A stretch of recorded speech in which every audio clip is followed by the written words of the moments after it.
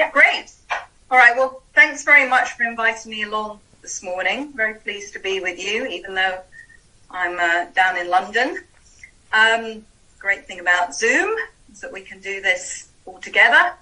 Um, so the buzz about bees, the importance of bees and how to help them. So glad to hear that you're receiving a, a bee saver kit.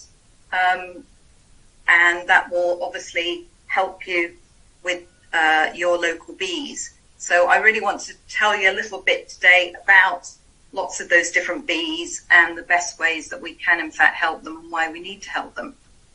So um, a little bit about me. I'm a journalist, um, co-author of four bee books. Um, the latest one, The Good Bee, one of you will be able to win.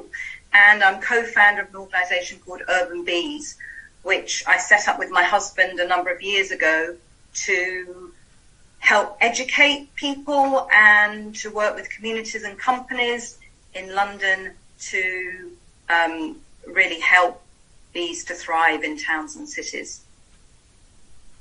So, bees in the UK, it might surprise some of you to know that we actually have more than 250 different types of species of bee living in the UK. Most people think of, um, they might think of a honeybee, but we've only got one species of bee that lives in a hive and makes honey. And we've got 24 species of bumblebee. Now, bumblebees are the ones that most people think of as a bee. It's a big, fat, round, quite cute bee that we see on the flowers in our gardens, striping but actually, most of the bees in this country are what we call solitary bees. There's over 200 of them. They're quite small. Probably wouldn't notice them. Brown, black, not even stripy. Um, but they're all incredibly important. So these are some of the bees you're likely to see in your garden at the moment. And because the weather's quite nice where you are, you might even see them this afternoon. So the, we can see here there's four different types of bumblebees that are out this time of year. A buff-tailed and white-tailed bumblebee are the ones you're most likely to see just because they're big, they're very common, they're easy to spot. Early bumblebees, tree bumblebees are also out. Um, but we've got the, um, the honeybee as well. Some of you, if you live near anyone with hives, you're likely to see those in the garden. What the bumblebees and the the honeybee have in common is that they're what we call social bees. They live in colonies with a queen bee, worker bees, which are all female, no surprise there, and the drone bees, the males that really just um, just have sex really, and that's their their sole job is to carry the genes for the next generation. So they live in what we call colonies, the honeybees can live up to about 50,000 of them in a hive at the height of the summer. And the bumblebees, maybe about 200, 250 of them in a, a much smaller colony. But the solitary bees, and the ones on this chart that you might see in your garden, the hairy footed flower bee, for example, which is quite big and round, looks a bit like a bumblebee, the red mason bee and the mining bees, these are all solitary bees. They've just got a female comes out in spring or in the summer. She gets mated. She lays her eggs in a solitary nest on her own. Then she goes away and dies, and the eggs hatch, eat, and um, emerge as adult bees the following year. They tend to nest quite close to each other, a bit like us living next door to each other on a terrace street or in a block of flats. So often you will see a lot of them together especially the mining bees tend to come up through the lawn or through um, bare soil. So you might see a lot coming through, but actually they're all solitary bees. And on the right hand, the bottom right hand side, there's something called a bee fly that, not surprisingly, a lot of people mistake for a bee because that's what it's trying to do. It's mimicking a bee. The telltale sign is its spindly legs. You can see those. That's a, that's a dead giveaway. That's definitely not a bee. So they're just some of the bees you might see if you go out this afternoon in your parks or gardens. Doesn't matter what type of bee it is, what they all have in common is some people might think what they have in common is that they all sting, but actually they don't. The solitary bees don't sting. And bumblebees very rarely sting. You've really got to um, get in their way. They've got to feel like they're really under threat to um, to sting. Um, what they all have in common is that they all pollinate. And the reason they pollinate flowers that they visit is because the flowers have actually evolved over millions of years to attract the bees pollinate them. So those beautiful scents, the beautiful uh, colors of the petals, it's all designed to attract the pollinators. And the pollinators will go to the plants because the bees only eat food from plants. They only eat pollen and nectar. So they're completely dependent on the flowers for their food. And when they go to the plant, they will be collecting the pollen and the nectar. The pollen is the protein that they need to take back to feed their babies, take back to their nest or to the hive. And the, the um, nectar is the sweet carbohydrate drink that the honeybees will take back to a hive and turn into honey, which they store and it's their winter food. That's, that's why the colony will survive in the hive during winter on its honey. And the other bees will use the carbohydrate as a, as a fuel. It, it fuels their flight while they're flying to and from the nest. And so they're totally dependent on the flower for those, those two products to eat. But the flower um, needs the bee to pollinate. So when it collects some of the pollen, it's also transferring some of the pollen from the male part of the flower to the female part of the flower. And as a result, flowering plant can then have fruits and seeds.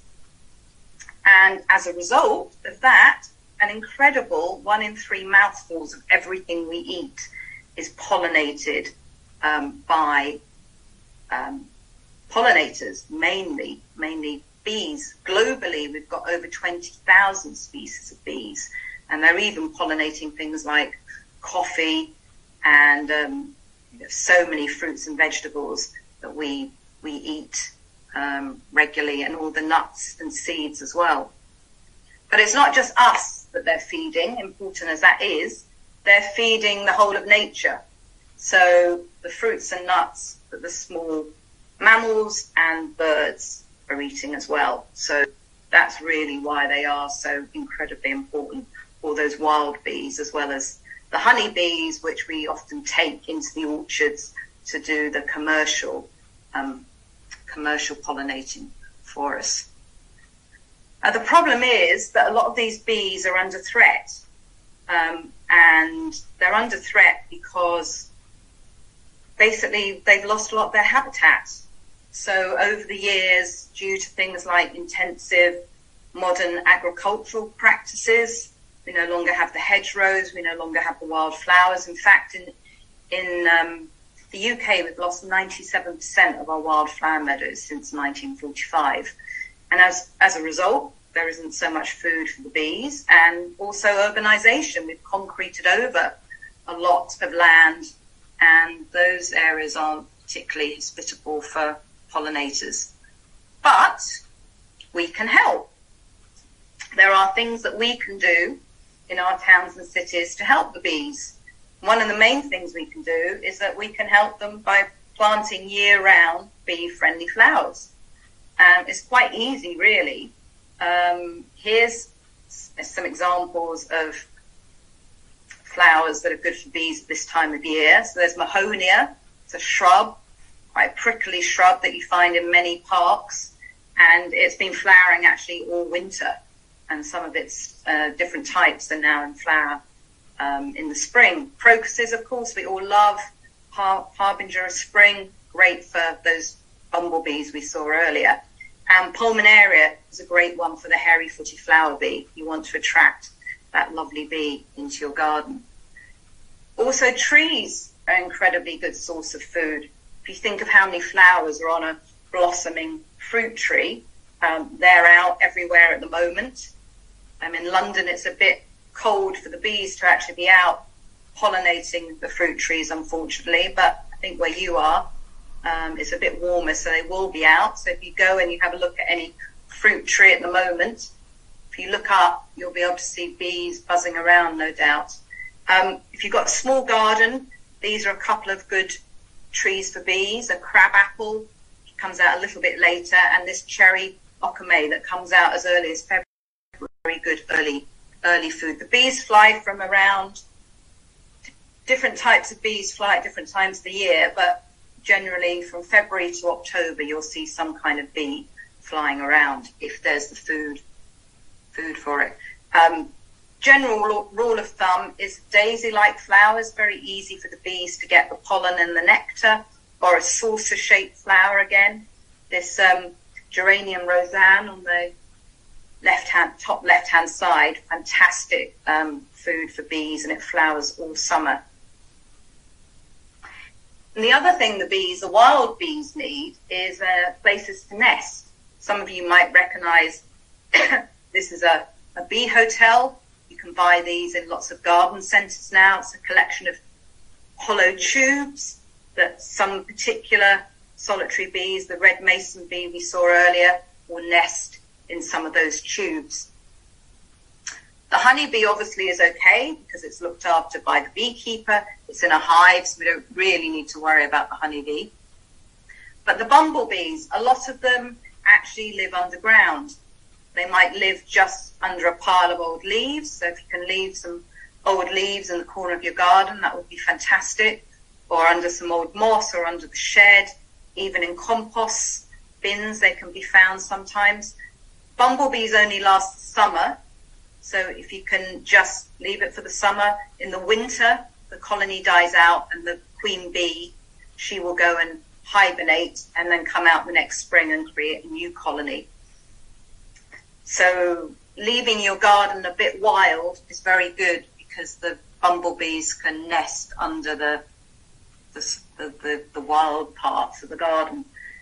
This is the kind of bee hotel that we like. We've got quite a few of these. This is our garden shed, and we've put a whole row of bee hotels facing south along um, under the eaves of the shed.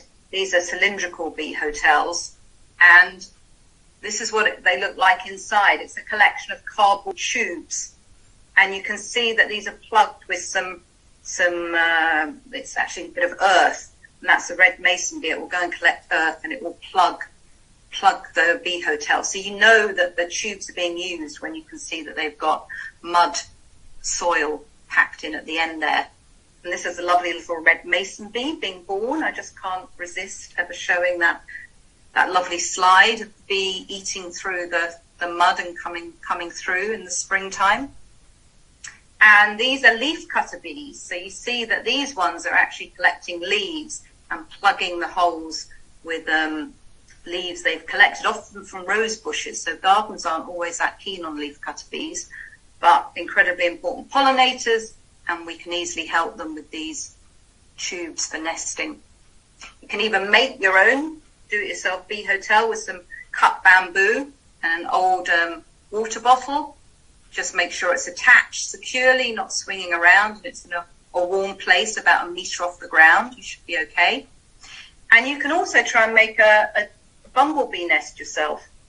Um, I've not had much success with it, but I have heard they do sometimes work. The ones in the shops don't, but you could try using a flower pot, upturned, bit of nesting material. Apparently they, they often use rodent holes in the wild, little rodent holes that mice have used for nesting. So if you've uh, you've got a pet shop, might not be open now, but in the future, you might be able to go in and get some uh, some old mice nesting material and, and stuff it into your flower pot, upturned, a little bit of hose pipe, um, and leave it there. And this is the time of year that a lot of bumblebees are out, the queens are out looking for a new nesting site.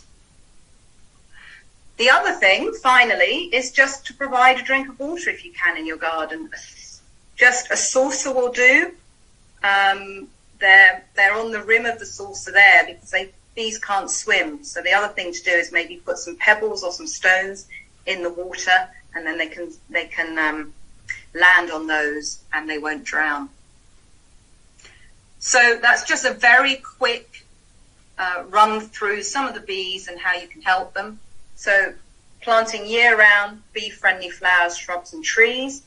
If you haven't got a garden, you can do it in window boxes, patio, a few, um, few patio planters help, or you can speak to your local park or other provider of green space nearby and you'll be surprised to know that you're probably knocking on open door because bees are so popular these days that councils and uh, landlords want to be seen to be helping bees. Creating suitable nesting sites and materials is also important, providing the water, ditching the weed killers and the pesticides because they are bug sprays. So, you know, bees are bugs, so they're going to affect the bees as well if you can possibly bear to not mow your lawn, if you have got a lawn, leave it for a few weeks longer to let the dandelions and the clovers flower, which is very good early bee food. Um, yeah, and basically lobby your council, the golf club, the housing developer, the landlord, anyone you know that could make a green space better for bees. Um, give them some ideas. Say you'll even get involved and I'm sure, as I say, you're knocking on an open door. Some resources that might come in hand if you want to know more. That's um, the Urban Bees website, Bumblebee Conservation Trust, wealth of knowledge about bumblebees. Um, if you want to go out trying to ID bees, then the Field Studies Council has a fantastic, full out, very simple guide to the bees of Britain. If you want something more substantial, you know, you can get a huge grade um, field guide, field guide of, of bees by um, Steven Falk is, is, you know, the Bible really. But starting with the, the FSC is a good place to start. And just a little bit, a bit more about me. Um, I've got a monthly bee blog at the Urban Bees website, and you can follow me on Twitter at Alison Urban Bees, Instagram Alison underscore Urban Bees, and um, Facebook, although I don't tend to do that very much, Bees in the City. So I hope that's a good overview and I'm very pleased to answer any questions that you might have.